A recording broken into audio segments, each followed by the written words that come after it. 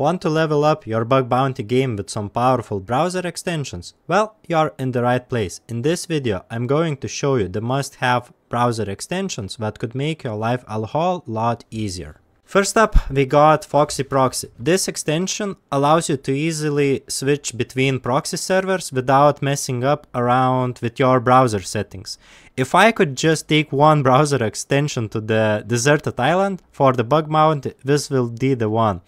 Uh, the main use case is setting up the web proxies like Burp Suite or Caido, but it's also useful with services like Tor for added privacy. Wappalyzer is essential for fingerprinting a web stack. With a single click, you can see what technologies a website is running, frameworks, content management systems, analytics tools, and more. While there are other similar tools like BuiltWith Wappalyzer is my favorite one. This extension is perfect for testing different user accounts in the same hacking session. With multi-account containers, you can isolate your browsing in different tabs, meaning you can log in into the multiple accounts or test different permission levels without clearing the cookies or using incognito mode.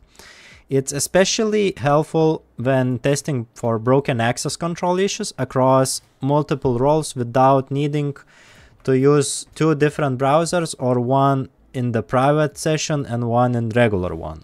This extension gets really convenient when you have at least three or more different user roles to test.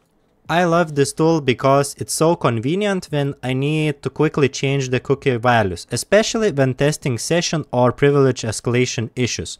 No need to use proxy tool, capture the request and edit it manually, the cookie editor saves a ton of time.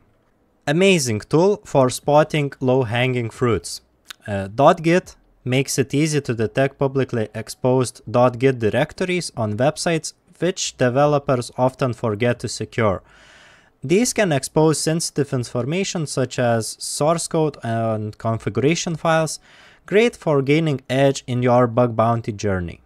As a bug hunter, managing a lot of credentials can get tedious. Using a password manager like 1Password keeps things secure and organized. While you can use any password manager, this is the one I personally use. Plus, it saves a lot of time quickly filling out login forms during the testing. Uh, just don't store your passwords to the browser. This is the worst place to store credentials apart from saving into the notes.txt file. Now let's dive into the some tools that could help you automate or semi-automate parts of your workflow. LinkGopher extracts all the links on the web page, making it easier to find hidden or interesting endpoints during the recon. I love using it when I'm Google Dorking or doing on-site recon to pull out those valuable URLs. FoxScroller is another tool that saves a lot of time. It works great with link LinkGopher on the sites that load more links as you scroll. A good example is Google search results. You can set it to auto scroll through the thousands of results while you take a quick break. And finally, Bulk URL Opener is super handy when you have a list of URLs to visit quickly. Whenever you are working with links from LinkGopher or results from tools like HTTPX, this extension speeds up the enumeration phase by letting you open multiple websites at once. Really convenient. These browser extensions can really take your bug bounty workflow to the next level, from faster reconnaissance to easier cookie manipulation and account testing. I've placed all the links in the description below so you can download and try them out yourself. If you are using Chrome, don't worry. Most of these extensions are available on Chrome as well. I have dropped the links of alternatives to Chrome as well. Now I want to hear from you. What is your favorite browser extensions for the bug hunting?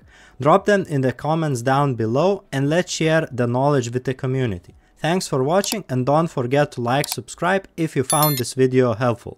Let's see you on the next one.